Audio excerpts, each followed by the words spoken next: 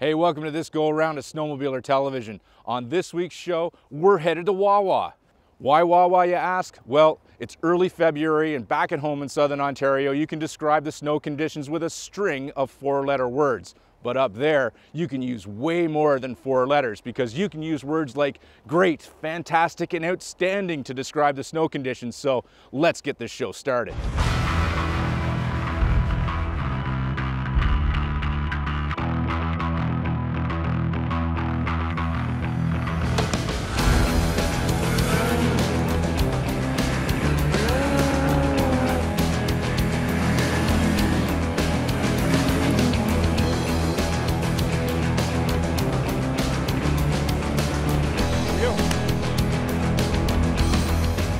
Has been brought to you by Yamaha.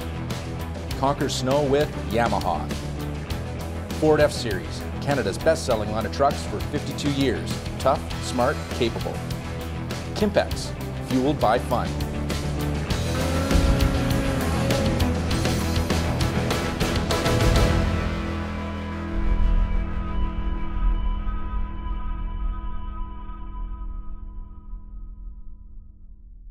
For this trip, our adventure started here in Sault Ste. Marie, where the guys and I arrived last night in the rig. But this morning, we're headed to Searchmount to a staging area there to unload the buggies and hit the trail to Halfway Haven. Our first riding stop will be for a saddlebag overnight stay at Halfway Haven, followed by the ride into Wawa the next day.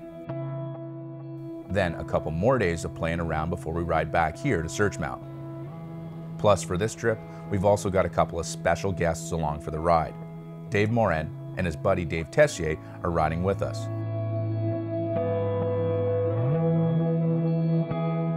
Dave was the winner of the OSM Polaris Ride Command Sweepstakes.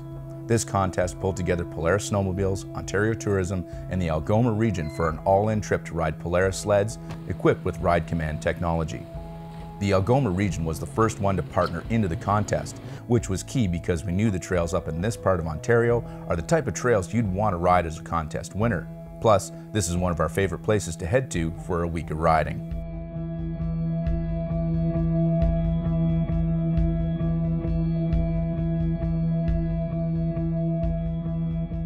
We've been around for, uh, we're one of, probably one of the original clubs in the province 52 years ago. I think in 1966 we were formed and involved with the forming of the, the OFSC the year after. So, um, you know, we've been in existence for a long time, since the early to mid 70s when this new concept came out about grooming trails. So we, you know, we started developing trails then.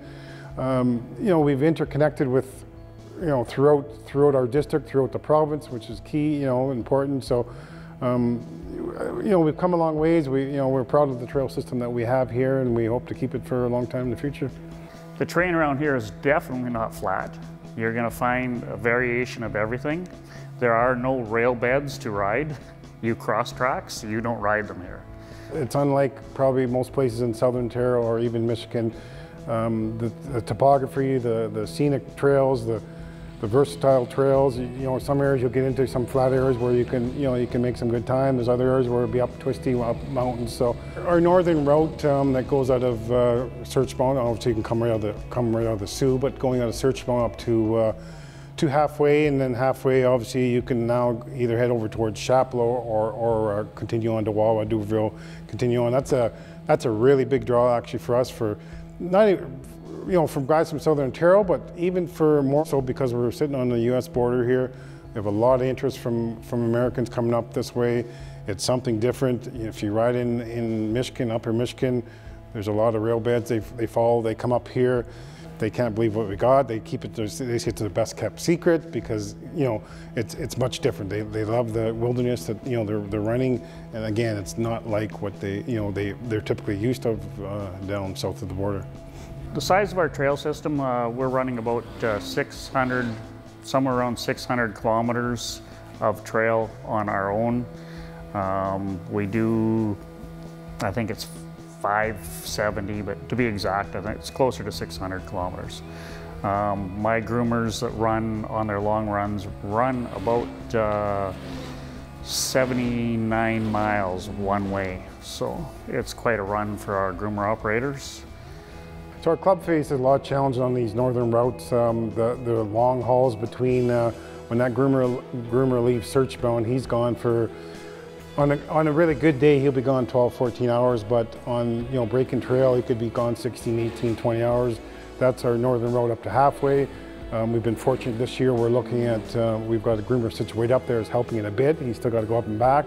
We also have another northern road that goes over to Black Creek, and he's, uh, but sometimes they go up that way. They're, they're gone for a couple days basically. So it, it's it is a challenge for them. Uh, you know, um, the, the other big challenge is if, you know, if everything goes good, that's great. If they have a mechanical breakdown, then we got to get move guys up there to do something, and, and, there's no road access near any of those places that we're you know running to. So, basically, our whole trail system, we groom it weekly.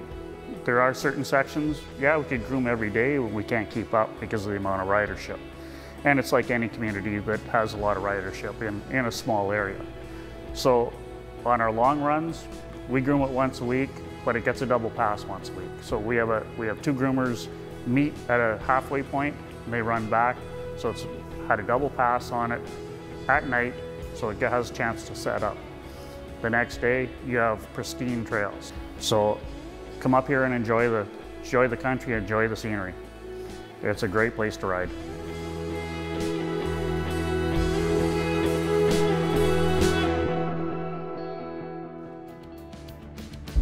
Coming up after the break, we're going to introduce you to the Daves.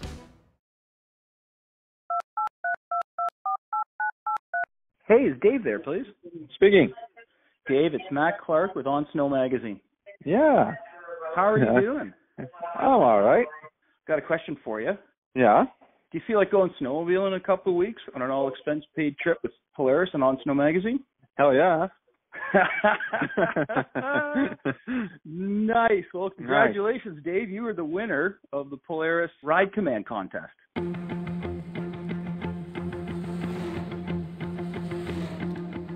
So I was at work on uh, Friday, and uh, I got this phone call from Matt, and uh, so I just uh, kind of I, I had an inkling, but I wasn't sure. So as soon as he said, "Do you want to go for a ride?"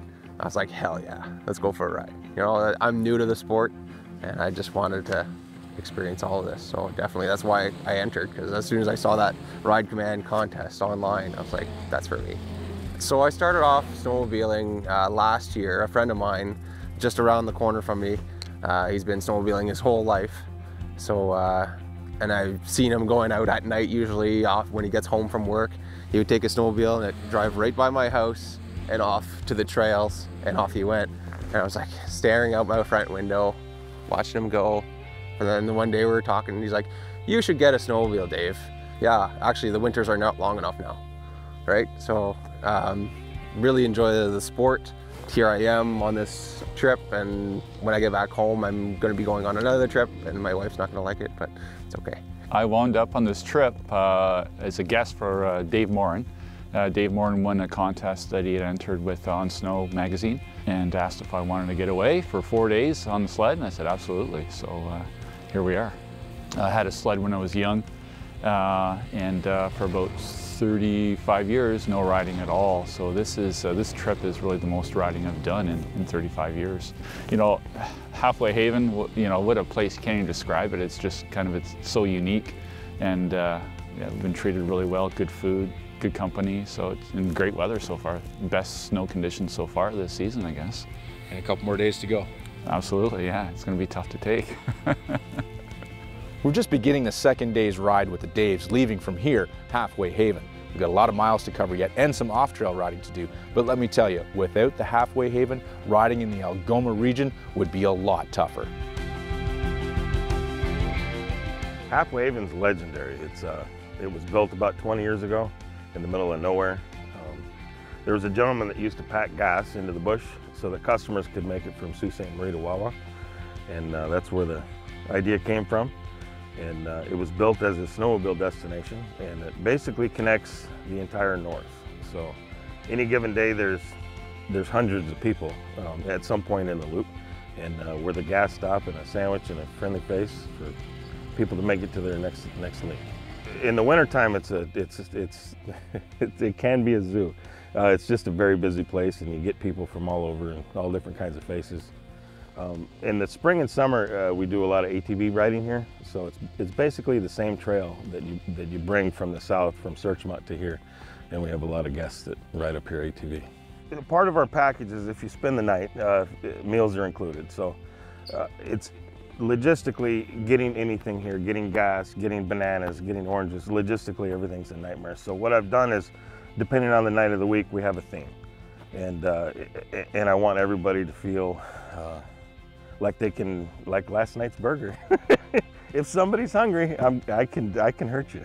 I just want everybody to feel pleased. So. And tell me about last night's burger for uh, for Dave. He Well- uh, he stepped it up, didn't Yeah, he? he did. Like uh, he's big around as my wrist, and I didn't think there was a chance, and he he, he got it. What was that burger that you gave? It was just uh, like a pound of bacon and four patties and and a lot of cheese and a whole bunch of goodness right there.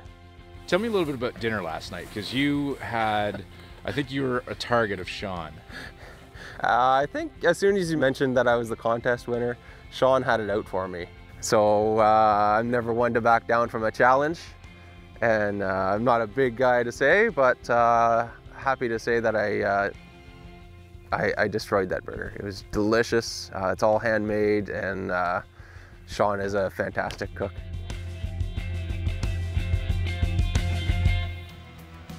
From here in Halfway Haven, I'd say we're roughly halfway to Wawa, and we're going to continue the trip up to see the Big Goose.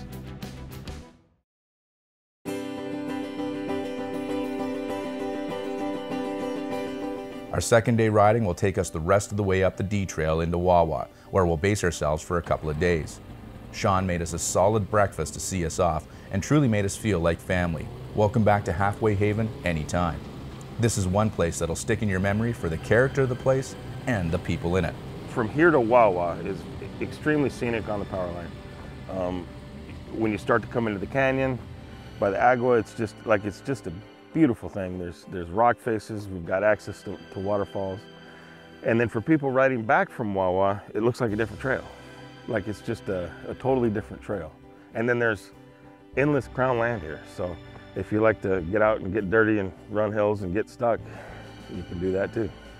Joining us for the rest of our ride is Russ Jones from Top Secret Boondocking. He'll be on the trail with us up to Wawa, but also promised us that he knew of a few good places to jump off the trails and do some boondocking along the way. With near endless stretches of crown land, the terrain here is a paradise in the middle of Canada for this type of adventure riding. Well, it basically all started with me and a few buddies. We used to ride off trail all the time. And then uh, invited a few more buddies, and they told two friends, and so on and so on. And then it just kind of exploded. Now there's people uh, have heard about it. Basically, the secret is out. Um, people from all far and wide know about it, and it's great because we've got thousands of acres that are untouched, and it's good some people are finally getting to ride them. Some of my best spots I still don't talk about with everyone. You know, it's it's a it's a le- level of trust basically, and it's a safety thing too. You don't send a newbie to some of the most violent terrain around, so um, it's still top secret even to this day. This area where we're at right now is probably our biggest draw. Um, it's a massive area. It's probably 20 square miles. If you go on Google Earth, you can, it's visible from space. It's a massive thing. I've been here, riding here for probably 40 years, and I haven't seen it all yet. So there's a lot to see.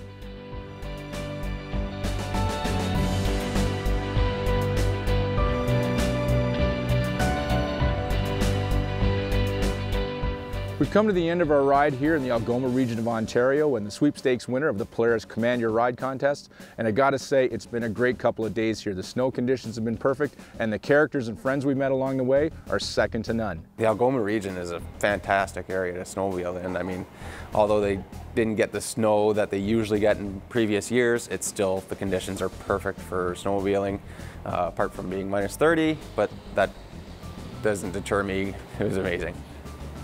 The Algoma area is, is fantastic, and the trails are set up so that, um, I mean, you always have fuel, you'll always have a, a place to stay, you'll always have a place to eat. Um, very well marked, very well groomed, yeah, and the conditions were, were fantastic. Where other parts of Ontario are still struggling, Algoma has tons of snow here, and there's so much to see. In the last few days, one theme has been developing beyond the snow and the trails, and that's the characters you come across in the snowmobiling world. Fellas like Sean and Russ, who are never at a loss for another story, and even though we met only a couple of days ago, it feels like a friendship that goes back years. Uh, snowmobiling uh, gets you into that section of people that are, they all come together and uh, you get all these different characters from all aspects of life. And Sean from Halfway Haven, uh, just such a great guy, uh, just brought us in, you know, arms wide open. He warms right up to. Another character, uh, Russ from Top Secret Boondocking. what can I say? Um, he's also so entertaining, so friendly, so open, do anything for you at any time kind of thing. So, you know what, this, these types of people make you want to keep exploring new places and coming back to the old ones to meet them because you become friends in the end. I have a feeling we sold Dave on the new Polaris Assault, and even though it's the end of the trip, I don't think we've seen the end of the Daves. The first time on a Polaris snowmobile, uh, what can I say? They blew me away. I mean, it's night and day almost to my to my sled that I have back home, and I just uh, I might have to go put a deposit down on one when I get back. So Polaris has the Ride Command app. It's the first time I've used it. I've used similar apps, um, but the really neat thing about the Ride Command app was that you can create your own group. So if you have a group of friends uh, snowmobiling with, you can create your own private group and you can see where everyone is. Um, you know, even when we get back to the hotel room, we can see where someone is within the hotel. Um, but when we're out on the trails, uh, you know if your buddy is safe if you can't see them because you can still see their sled moving. Um, and the neat thing about it too is that it will track your ride so that you know when you get back home and you and maybe you don't remember the area very well, but you'll be able to pull up uh, on, on your app see where you were, how long your day was, tell stories to your friends. It's, it's, a, it's a pretty neat thing. I also believe that we haven't seen the last of the Algoma region in our riding future. Maybe we'll be back this summer to do the same trip through Halfway Haven on side-by-sides and ATVs.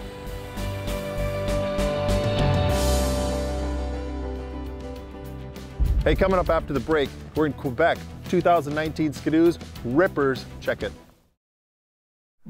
Ah, yeah, it's that time of year again. Time when a young man's fancy lightly turns to thinking of sexy new snowmobiles. I, I mean, uh, what else dudes uh, start thinking of the, uh, the new iron and uh, horsepower and uh, ripping up some pow? For 2019, Ski-Doo has bolted from the gate first. And they invited the STV and OSM crew to Quebec for a personal look and a first ride. Now, if you're keeping score at home, Ski-Doo's enjoyed a pretty nice ride over the past 10 plus years. Now, it all started with the first rider forward design Rev in 2003, and they haven't looked back since. Two seasons back, Ski-Doo engineers introduced their fourth generation Rev platform, called the Gen 4. Get it? Generation 4? Clever, huh? Inside that buggy was a new 850 engine. We're talking big bore power. now, the sled was also narrower, it was more nimble, and had a more rider active feel. And for the most part, guys friggin' loved it. And that's exactly what they're doing for 2019. For starters, they introduced a new 600R engine. It's based off the 850, so the little guy is a ripper. 600R is about response. It's got great response in and out of the corners, 30% faster than the 600 HO, 125 horsepower, so five more horse than the old motor. It really is a ripper. Now Ski-Doo also figured they better up the ante with their four-stroke engine offerings as well. I'm all in. Yo, bro, you know that 900 Ace motor? Yeah. Yeah, well, we put a turbo on it and it runs awesome. Cool. We should put that in a sled. And that's exactly what they did.